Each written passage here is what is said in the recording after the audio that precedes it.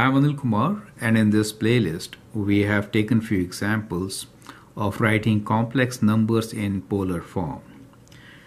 Uh, in this particular example, I have taken a complex number which is in which quadrant? Let's look into it. And then we'll write this complex number z equals to 2 minus 2i in polar form.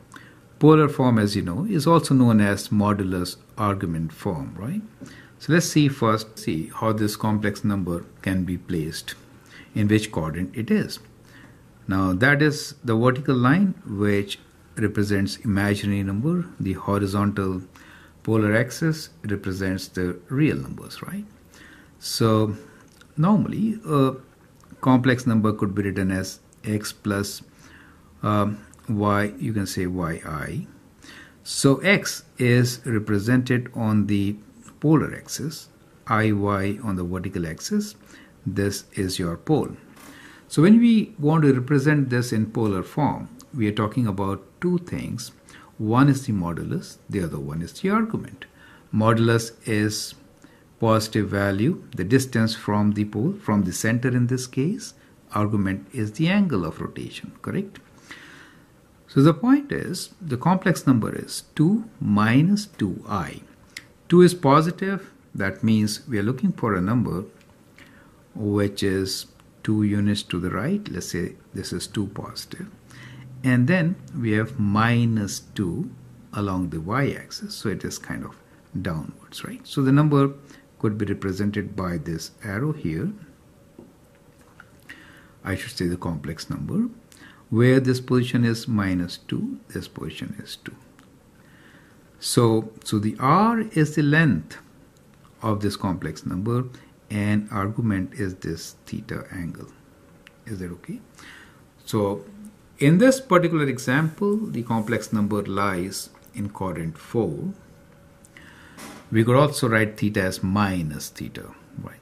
Both ways it works out fine. So you could write this number as r cos theta plus i r sine theta. Taking r common, we could write this as cos theta plus i sine theta, right? The value of r, as you know, could be found by, I will give you the general formula, square root of x square plus y square. If we write x plus yi and theta is tan inverse of y over x right? So that is how you really find r and theta. Once you find r and theta you could always write in complex form. Uh, we may also write this as r and theta. That is also polar form correct? Okay. So let's begin our exercise. We are given the complex number z equals to 2 minus 2i. That really means that the real part here is the r cos theta, right? So r cos theta is 2 and r sine theta is minus 2. So when you divide, let's say sine theta over cos theta, then we get tan theta equals to minus 2 over 2, which is minus 1. So from here we can find theta. But better way is to find the related acute angle. So we normally find tan alpha, the acute angle. So, so acute angle, let's say, let's say this is alpha for us. We are working in quadrant 1. So everything is positive here, right? So tan alpha is positive 1 so alpha is equals to is equals to let me go step by step tan inverse of 1 which you know is if you're working in you could work in degrees or in radians. Is that okay? So so you could write this as uh, alpha equals to if you're working in degrees then tan is 1 for 45 degrees. You could use calculator. In radians it is pi by 4 correct? So that is what you could do in either unit you want to work. So we know the value of angle. We can find what R is.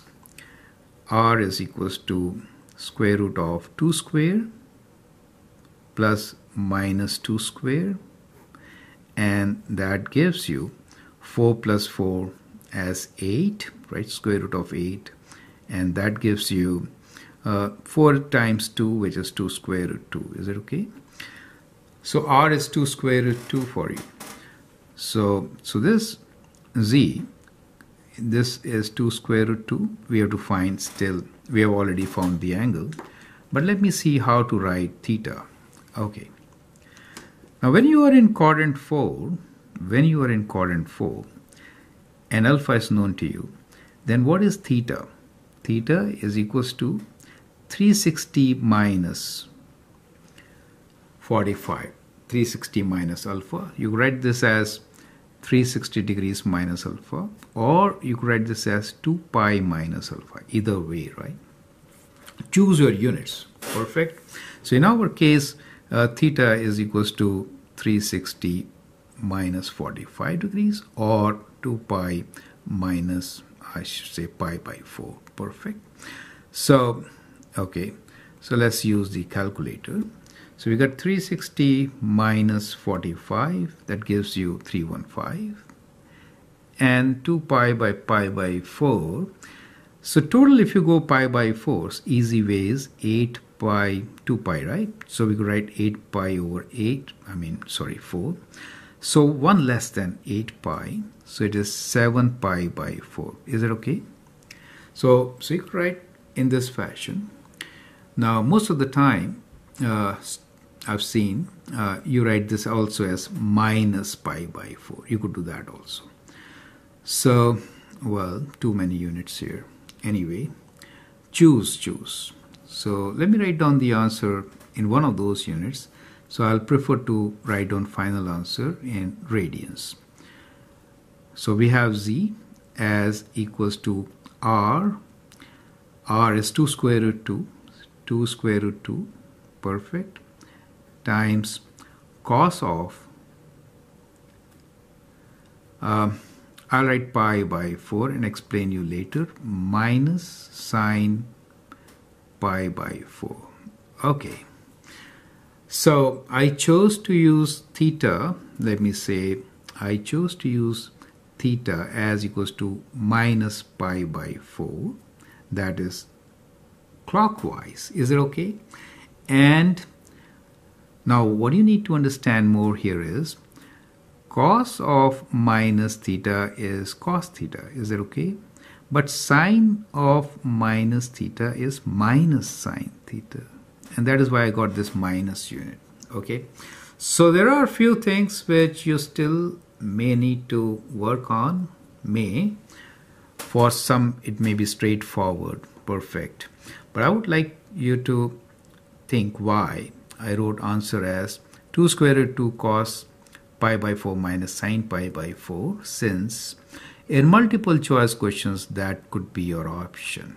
Well, the other results were as we were very close to writing, we could have written 2 square root 2 uh, cos 7 pi by 4 plus, oh, I forgot to write i, I'm sorry, plus i sine 7 pi by 4 right that is also the right option when we are doing in radians if you're working in degrees you can replace 7 pi by 4 with 315 degrees correct or if you choose this option pi by 4 is 45 degrees to write down your answer. So let me write down here another answer z equals to 2 square root 2. This is always positive. Cos of 45 degrees minus i sine 45 degrees. Correct? So three, three, four ways of writing it. I hope you're not confused, but you appreciate what I've done. Feel free to make suggestions, right? Thank you. And all the best.